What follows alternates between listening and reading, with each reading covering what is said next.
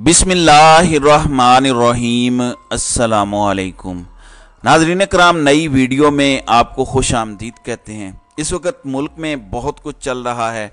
अब यूँ लग रहा है कि अचानक पूरे का पूरा खेल पलटा खाएगा। एक 180 डिग्री चेंज इसके इस वक्त इम्कान पैदा हो चुके हैं।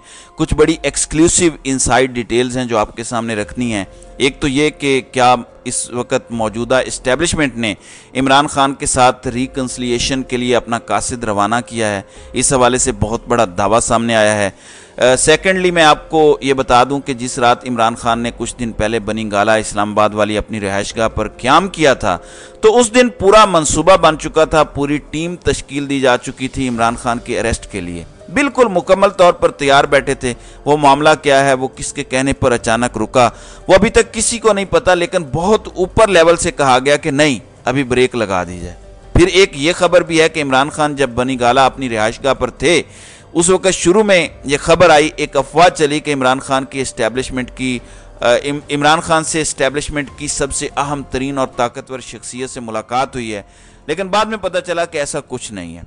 अब दोबारा ये खबर आ रही है कि इमरान खान की उस दिन कुछ इंतहाई अहम तरीन मुलाकातें बनी गाला में हुई।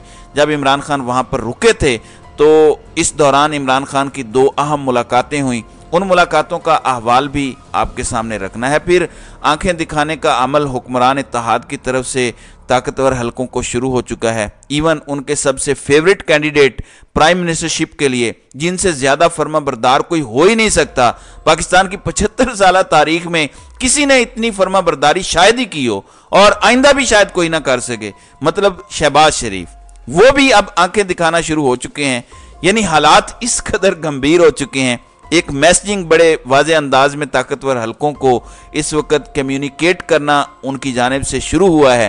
तो ये सारी की सारी चीज़ें एक एक करके मैं आपके सामने इस वीडियो में रखूँगा। नाजरीन कराम एक जानब यूँ लग रहा है कि इमरान खान के हवाले से ताकतवर हलकों ने रीथिंक करना शुरू किया है अपनी पॉलिसी को अपने मामला को लेकर। वहीं दूसरी जानब इस्टेब्लिशमेंट के ताल्लुक पी डी एम की जमातों के साथ हुक्मरान इतिहाद के साथ भी कोई मिसाल ही नहीं रहे और एक सफ़ा तकरीबन इस वक्त फट चुका है लीरो लीर हो चुका है। बस हमने ये देखना है कि उस एक सफ़े का अंजाम क्या होता है। वैसे पाकिस्तान की हिस्ट्री में जब जब एक, एक सफ़ा बहुत ज़्यादा अपनी एक हाथ से आगे गया और बहुत मिसाली बना, चाहे वो इमरान खान का दौरी क्यों ना हो, आपको याद होगा कि बाजवा साहब के साथ किस तरह के मिसाली ताल्लुक थे। जब जब ताल्लुक तारीख साज मिसाली लेवल पर गए हैं, उसके बाद उतने ही वो ख़राब हुए हैं, ये एक रियलिटी है। इसलिए ये आइंदा का सबक है कि बहुत ज़्यादा रिलाई एक दूसरे पर ना किया जाए और सब अपना अपना काम करें और एक वर्किंग रिलेशनशिप रखें, एक प्रोफेशनल रिलेशनशिप रखें। ये नहीं कि आप ये कहें कि you scratch my back I scratch yours इसमें फिर तवक़ात और उम्मीदें पूरी नहीं होती। जिस तरह से बाजवा साहब को बहुत सी तवक़ात और उम्मीदें थी कि मैं खान साहब को कहूँगा और वो सर झुका के फ़लाँ को वज़ी अला बना देंगे तो फिर जब फेवर्स लेते और देते हैं तो यही कुछ होता है।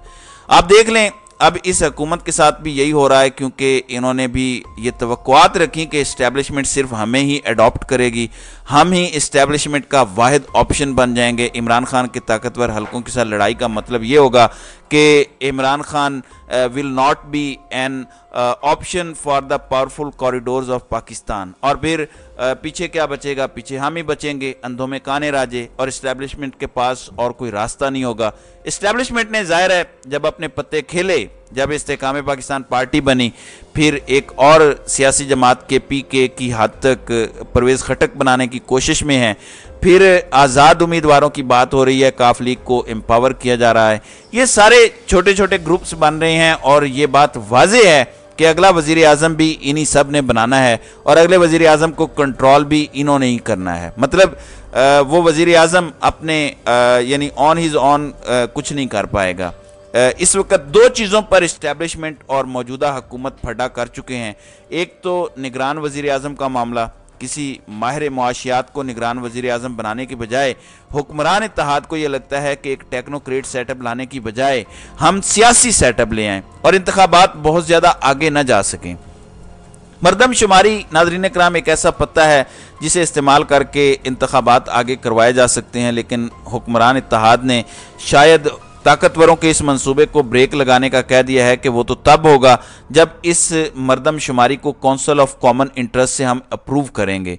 हम अपने टाइम के अंदर ये अप्रूव नहीं करेंगे। उसके बाद अब निगरान हुकूमत एक बड़ा अहम रोल प्ले कर सकती है, इसलिए निगरान इतिहाद को ये लग रहा है कि हम एक सियासी निगरान हुकूमत बनाएँ ताकि इस तरह से ताकतवर हल्के उसे ऑपरेट ना कर पाएँ, जिस तरह से ताकतवर हल्के उसे ऑपरेट करना चाहते हैं। अगर कोई टेक्नोक्रेट सेटअप हो, अब अगर टेक्नोक्रेट सेटअप होता है तो आपको पता है कि किस तरह की चीज़ें हो सकती हैं। मीशत का जहाँ तक ताल्लुक है तो हुक्मरान इतिहाद कहता है कि ठीक है, आपकी मर्ज़ी का कोई बेहतरीन मीशत दान आईएमएफ का चहीता आई का एक्सपीरियंसड बंदा हम फाइनेंस मिनिस्टर लगा देंगे और उसे पूरा एम्पावर करेंगे कि मीशत के मामला में वो अपनी मर्ज़ी करे। एक ये फड्डा है और दूसरा फड्डा इंतबात की तारीख पर है क्योंकि पी डी एम यानी हुक्मरान इतिहाद को यह लग रहा है कि अगर इंतबात में मजीद वक्त लगा तो खान के माइनस होने, ना होने के अलावा हमारा पत्ता भी साफ़ हो सकता है और हमारा ऑल्टरनेट तैयार किया जा सकता है। ये एक चीज़ इनके जहन में आ रही है। तो obviously this is also big this is also important अब ट्रस्ट करने के लिए कोई तैयार नहीं है। इमरान खान की मुखालफत एक ऐसा कॉमन फैक्टर है, जिस वजह से ये सब एक पेज पर थे। मैंने दो तीन हफ़्ते पहले आपके सामने एक मंजरनामा रखा था और आज वो बात सच होती नज़र आ रही है। आप इमेजिन करें कि एक कमरा है, जिसमें सब बैठे हुए हैं और एक ही एजेंडा है, एक शख्स को गिराना है। लेकिन मज़े की बात यह है कि जो उस कमरे में बैठे लोग हैं, वो एक दूसरे पर भी एतमाद नहीं करते। जैसे ही एक पिस्टल निकालता है तो दूसरे को लगता है कि ये कहीं मुझ पर ही फायर ना कर दे। तो कोई भी दूसरे पर एतमाद करने की जो करने को तैयार नज़र नहीं आ रहा। अब हारून रशीद बड़े सीनियर सहाफ़ी हैं, उन्होंने खान साहब से मुलाकात भी की, वो जमान पार्क गए।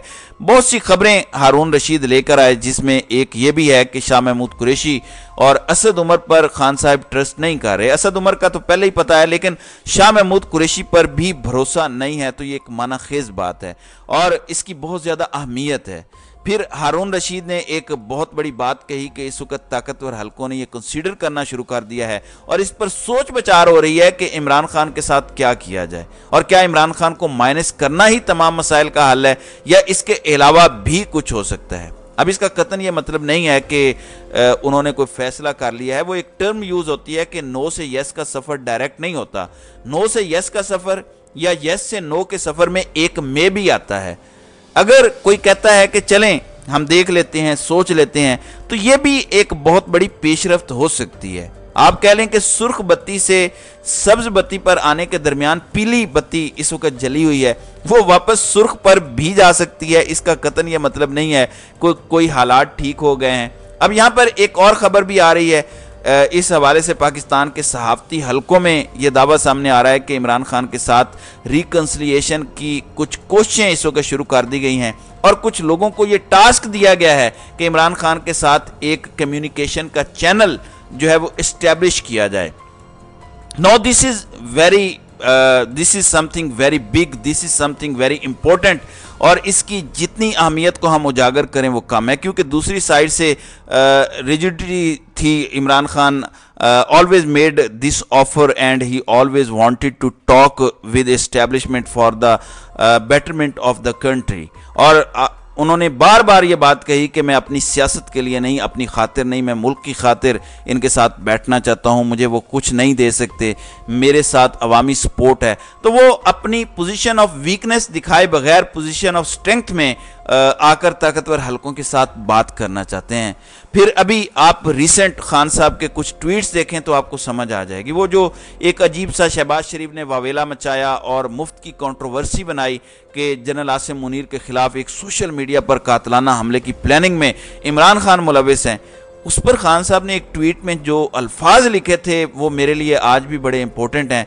खान साहब के अल्फाज थे कि आप अपने अरबों रुपए जो आपने चोरी किए हुए हैं, वो पैसे बचाने की खातिर, अपनी करप्शन को बचाने के लिए पाकिस्तान की सबसे मकबूल तरीन सियासी जमात और पाकिस्तान की मुक्तदरा के दरमियान लड़ाई दिलवाना चाह, डलवाना चाहते हैं। और आपको लग रहा है कि इन दोनों की लड़ाई में हमारी चोरी बच जाएगी तो ये आपकी खाम ख्याली है। No this is something very big and this is something very important कि खान साहब ने इस्टेब्लिशमेंट को इसमें यह पैगाम दिया कि ये चोर आपकी और मेरी लड़ाई से फ़ायदा उठा रहे हैं। अब हुक्मरान इतिहाद की इस्टेब्लिशमेंट से बहुत सी रिक्वायरमेंट्स हैं। वो चाहते हैं कि सारा काम वो करें, यानी सारा, सारी उनकी जो डर्टी लॉन्ड्री है, वो साफ़ करें और ये मुफ़्त में मज़े लें। मतलब इस तरह नहीं होता। इतनी आसानी से चीज़ें अगर होती होती तो क्या ही बात होती, क्या ही मामला होता। कुछ लो, कुछ दो होता है। अब ये कंफर्म खबर है कि जिस दिन इमरान खान बनी गाला में थे, एक दिन के लिए इस्लामाबाद में तो टीम तश्कील दी जा चुकी थी, ऑर्डिनेंस आ चुका था, इमरान खान को अरेस्ट करने के लिए अफसरान डेजिग्नेट कर दिए गए थे, एक पूरी टीम बना दी गई थी, लेकिन अचानक उस मंसूबे को ब्रेक लगी और उस ऑपरेशन को रोक दिया गया, उसकी एग्जीक्यूशन को हॉल्ट किया गया। अब ये ऑर्डर कहाँ से आया था? इस वक्त उस वक्त इसका पता नहीं चला था। अब साबिर, शाकिर और हारून रशीद ने भी इस हवाले से एक कन्फर्मेशन दी कि इमरान खान से बनी गाला में एक अहम तरीन शख्सियत ने मुलाकात की और ये वन ऑन वन मुलाकात थी। इसके बाद कुछ और मुलाकातें हुई, यानी कि सिलसिला चल पड़ा।